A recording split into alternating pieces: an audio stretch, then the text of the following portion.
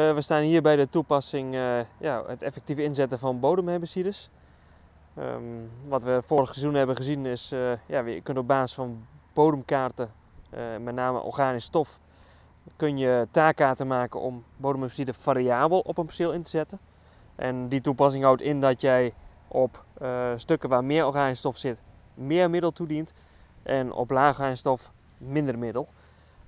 en dat gebruikt Sjaak vooral in de uien. En de lelies, dat is een andere toepassing. Um, en dat zien we hier achter ons. En wat we daarin zien is dat uh, onkruid vooral tussen de paadjes, tussen de bedden opkomt. Ja, en waarom zou je dan het hele veld willen bespuiten als je ja, ook daar specifiek in de paadjes middel zou kunnen toedienen?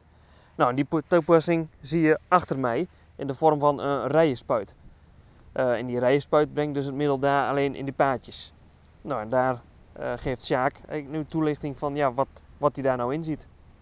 Uh, we hebben geïnvesteerd deze spuit zeg maar, omdat wij de toepassing wat effectiever willen maken. Tegen koptijd moeten de gewassen geselecteerd worden en moeten we vaak door de paadjes heen lopen. De kopmachines rijden een paar keer doorheen, er lopen scholieren doorheen en zie je dat op die contactlaag waar die verbroken is, zie je allemaal nieuwe onkruidgroei komen. Om die vervolgens later te kunnen spuiten met contactherbicide van bovenaf, kom je bijna niet meer in dat nauwe paadje waar dat uh, onkruid groeit. En vangen de lelies ook heel veel uh, herbicides op. En dat geeft weer groeischade.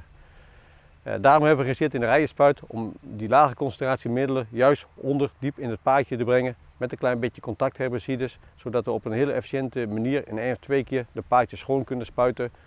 Dat geeft een behoorlijke reductie aan de hoeveelheid middelen die we moeten hebben en vervolgens een schoon gewas op met minder uren wietwerk.